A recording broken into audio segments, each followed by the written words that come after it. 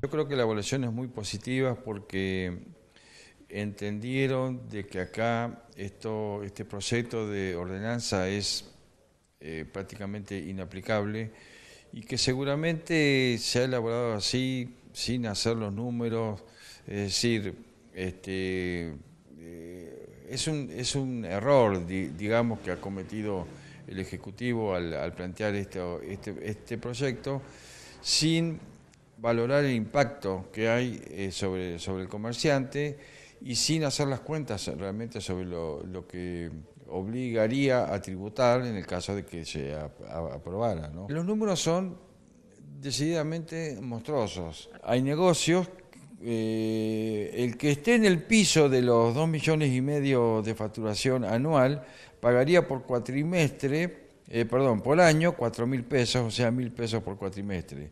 El que facture eh, 2 millones de pesos al mes, que hay muchos negocios por su característica que lo facturan, estaría pagando 40 mil pesos al, al, año. O sea, bimestre, cuatrimestres, eh, periodos de 10 mil pesos.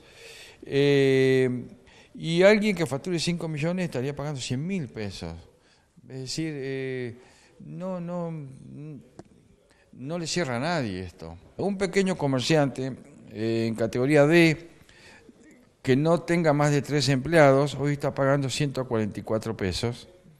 En, el cuatrimestre pasaría a pagar 900 pesos al año, es decir, 300 pesos por cuatrimestre a ese se le aumenta el 108%.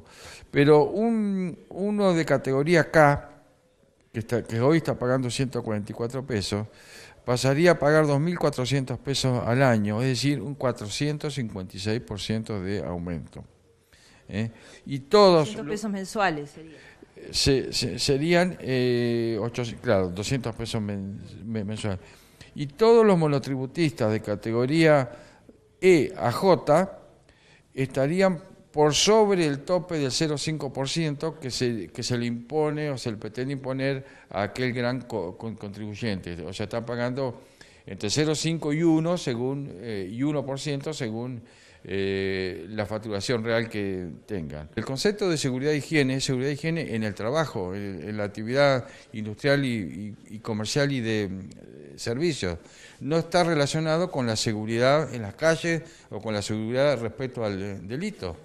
Entonces estaríamos recaudando una tasa para, la seguridad, para la seguridad del, del, cliente que va a comprar un alimento, para la seguridad de las personas que trabajan en un local industrial o comercial y la vamos para su seguridad en cuanto a, lo, físico, a los riesgos de trabajo. Y la vamos a aplicar a la seguridad este, en la vía pública, para lo cual además nosotros venimos pagando todos desde, desde que nacemos a, la, a la provincia, porque eso está incluido en los, en los presupuestos provinciales. ¿no?